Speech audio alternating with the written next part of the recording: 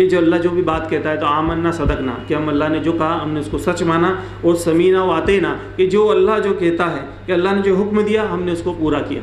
तो इसलिए हम इसके अंदर अब ये तमाम चीज़ें ना लाएँ कि क्या इसके बदले हम कुछ कर दें, इतना पैसा इसके अंदर लग रहा है बीस पच्चीस हज़ार रुपये का जानवर आ रहा है तो क्या हम सदका खैरात कर दें, किसी को दे दें, उससे ज़्यादा फ़ायदे हैं तो हम नहीं कर सकते, जो अल्लाह ने कहा, हमको वही करना है, क्या अल्लाह ने जो फरमाया तो उसका हुक्म हमको बजा लाना है। और ये खुश दिली से अल्लाह की रज़ा के लिए, खालिश नीयत से करना चाहिए, इसके अंदर हुआ नाम नमूद के लिए ये चीज़ें हमको नहीं करनी चाहिए।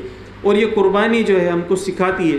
क्या सिखाती है कि हम जो हमारी पसंदीदा चीज़ें वो, लेकिन वो बुरी चीज़ें हैं तो हमको उसको छोड़ देना चाहिए।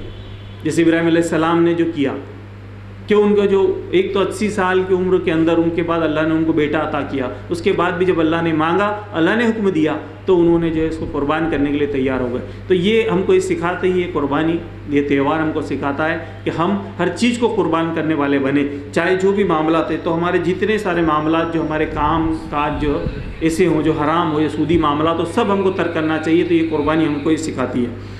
और इस ये हमको कुर्बानी सिखाती है कि जिस तरह इब्राहिम सलाम की सीरत को इस महीने में बयान किया जाता है, बताया जाता है तो हमको उससे नसीहत लेनी चाहिए कि उन्होंने अपनी पूरी ज़िंदगी, अपना वक्त, अपनी सलाहियत तो हर चीज़ को उन्होंने अल्लाह के राह में लगा दिया। तो हमको भी हमारी ज़िंदगी के अंदर जो हमारे पास माल है, वक्त खास क्योंकि माल इसमें लगा देते हैं लोग। हम माल उनसे कहते हैं, लोगों से दे देते हैं। लेकिन वो वक्त नहीं देते। तो हमको चाहिए कि दीन में हम वक्त भी कुर्बानी करना सीखें, कि वक्त को भी कुर्बान करें कि हम देखिए इब्राहिम अल्लाह के रसोल अपने पूरा वक्त जो है इस्लाम के लिए लगा दिया।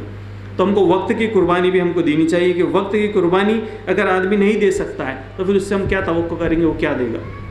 तो वक्त इसके लिए हमको चाहिए कि दीन के लिए भी वक्त लगाएँ और दीन के लिए हम वक्त की असल जो है कुर्बानी दें।